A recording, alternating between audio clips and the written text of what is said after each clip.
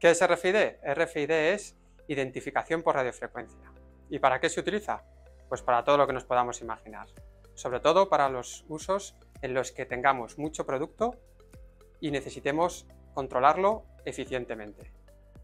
Los campos de uso son desde las tiendas de ropa, tiendas incluso de alimentación, tiendas eh, especializados verticales como por ejemplo puede ser el vino, perfumes, etc.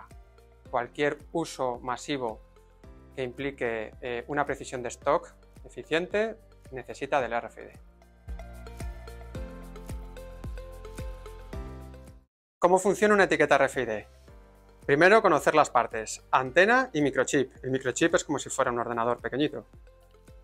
La antena, que es el lector que vamos a tener en cualquier punto, va a alimentar esta etiqueta y la etiqueta le va a responder con una información de valor. Esta información de valor puede ser desde, digamos, su identificador, que es las veces de un DNI electrónico que va a identificar cada producto que lleve la etiqueta de forma unívoca, a otra información, por ejemplo, que podría ser si este producto ha sido vendido o no, si ha pasado por ciertos procesos.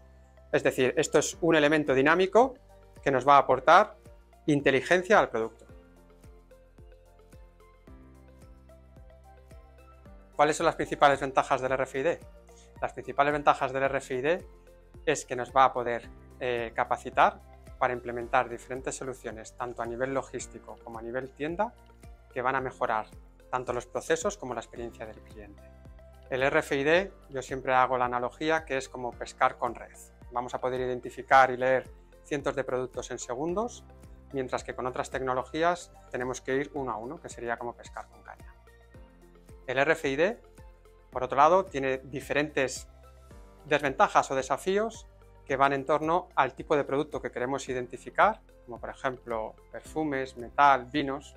Aquí ya en vinos tenemos una solución implementada y también un poco el desafío está en conocer bien las expectativas del cliente según el tipo de producto y el caso de uso.